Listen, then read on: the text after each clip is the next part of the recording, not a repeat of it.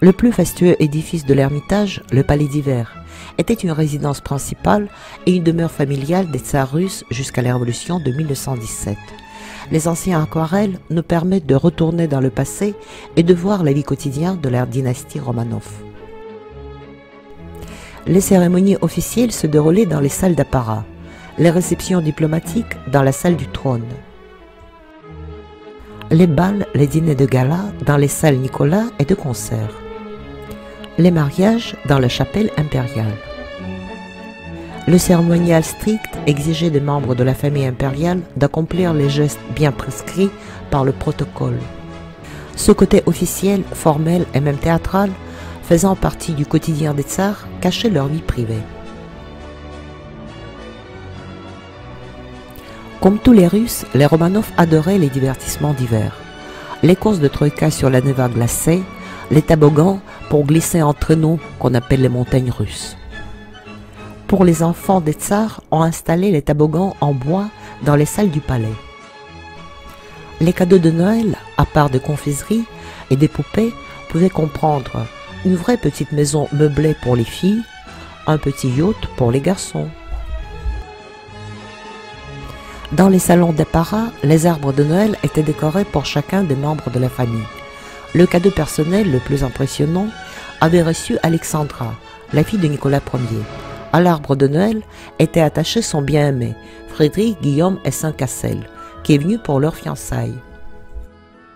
On voit que les Romanov aimaient beaucoup leurs enfants, mais en même temps, dès leur naissance, ils étaient formés en souverains de l'Empire.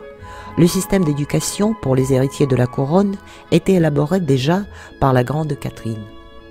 La lecture obligatoire pour son fils Paul à l'âge de 11 ans comprenait les œuvres de Montesquieu, Rousseau, Voltaire.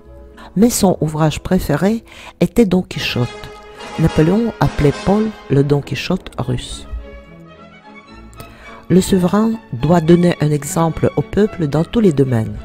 En 1767, Catherine II avait invité Thomas Dimsdale pour vacciner contre la variole elle-même et son fils unique. Ce médecin britannique avait ramené de son pays deux lévriers anglais en cadeau pour l'impératrice. Plus tard, les whippets et les autres chiens s'installent dans le palais d'hiver. Et les chats? Dès le XVIIIe siècle jusqu'à nos jours, les chats sont en service. La grande Catherine leur a attribué le statut de garde de sécurité des galeries d'art contre les rongeurs. À part des chats, le personnel indispensable au palais comptait à peu près 3000 personnes. Les dames d'honneur en reconnaissaient par le chiffre de l'impératrice accroché sur leur robe. Tous les serviteurs portaient leur propre uniforme. Sous la grande salle du trône se trouvait le garde-robe des domestiques, 25 000 vêtements quotidiens d'apparat pour les voyages pour sortir en ville. Le garde-robe impérial était encore plus impressionnant. Les robes de bal, les tenues militaires, les bas de soie de la grande Catherine, 360 paires pour une année. Les vêtements d'Alexandre Ier sont encore son parfum préféré, le Portugal, dont 264 flacons étaient commandés chaque année à Paris pour le tsar russe. En ce qui concerne les habitudes alimentaires, il faut préciser que dans le palais d'hiver fonctionnaient 29 cuisines, si on compte tous les foyers et fourneaux. Grâce aux princesses germaniques, les épouses des tsars russes, le café était une boisson favorite à la cour. Lors des soirées d'appartement, des buffets comprenaient le café, les fruits, les confiseries et les vins. Les hommes préféraient le château Lafitte, les femmes le sauterne et tout le monde, en toute occasion et toute la journée, se permettait une coupe de champagne. La veuve Clicquot, Prosper Mérémy disait que Madame Clicquot abreuve la Russie. Dans les années 60 du 19e, la maison Roder est devenue le fournisseur officiel de la cour russe grâce au cristal, créé à la demande d'Alexandre II. Les balles du palais d'hiver étaient réputés par le champagne, la crème glacée et les meilleurs musiciens.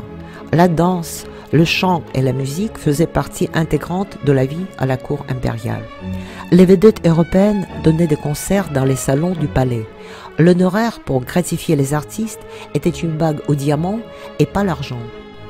Les aquarelles qui illustrent notre vidéo proviennent des réserves de l'Ermitage.